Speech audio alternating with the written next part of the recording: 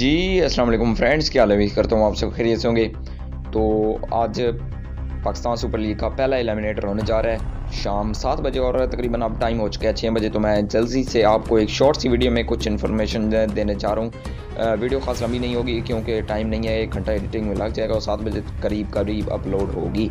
लेकिन बात कर चलें यहाँ पर तो कुछ अच्छी खबरें हैं पेशावर जर्मी के फैंस के लिए और कुछ अच्छी खबरें हैं इस्लामाबाद के फैंस के लिए। तो अगर आपने अभी तक वीडियो को लाइक नहीं की तो वीडियो को लाइक कर दें, चैनल बने हुए चैनल को सब्सक्राइब करके प्रेस कर दे बेल आइकन को तक तमाम क्रिकेट की न्यूज़ जल्द से जल्द आप तक पहुँच सकें। सबसे पहले अगर हम बात कर चलें टीम इस्लामाबाद यूनाइटेड की तो उनके कौन कौन से प्लेयर्स अवेलेबल होंगे और कौन से अवेलेबल नहीं होंगे तो वो ये हैं। शदाब खान अवेलेबल हैं। जी हाँ ये खबर पक्की है, क्योंकि वो अब फुल रिकवर कर चुके हैं और वो आज का मैच खेलेंगे। इसके साथ साथ बात कर चलें यहाँ पर जीशान समीर की तो वो भी अवेलेबल होंगे। और विल जैक्स और एलेक्स हेल्स भी आज के मैच में अवेलेबल होंगे। एलेक्स हेल्स का तो आपको पता है, लेकिन विल जैक्स बंगला टाइगर्स में खेलते रहे, बेनी होवल्स के साथ ही टी टेन में खेलते रहे। काफ़ी अच्छी फॉर्म में थे।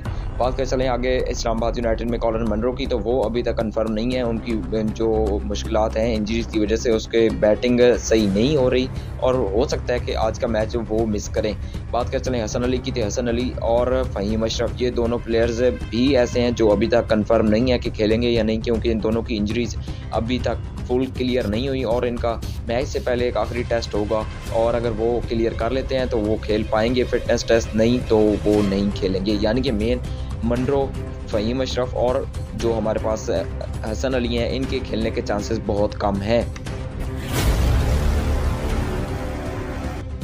बात कर चलें यहाँ पर पेशावर जर्मनी की तो पेशावर जर्मनी के फैंस के लिए एक अच्छी खबर यहाँ पर मिल चुकी है, वो ये है कि उस्मान कादर वो भी अवेलेबल हो चुके हैं हमें लास्ट मैच के लिए, उनका कोविड टेस्ट फ़र्स्ट पॉजिटिव आ चुका था, लेकिन अब वो नेगेटिव आ चुके हैं और वो दोबारा से हमें अवेलेबल होंगे आज के मैच के लिए तो काफ़ी अच्छी बात है। इसके अलावा इसकी जगह एक रिप्लेसमेंट भी समझ आई थी माजिद अली शाह, एक बॉलर हैं हमारे पास सदरन पंजाब को रिप्रेजेंट करते रहे, वो भी इस वक्त पेशावर जर्मी की तरफ़ से रिप्लेस कर लिए गए थे, लेकिन अब उनकी ज़रूरत नहीं है, क्योंकि उस्मान कादर लेग स्पिनर आ चुके हैं, वो भी लेग स्पिनर थे।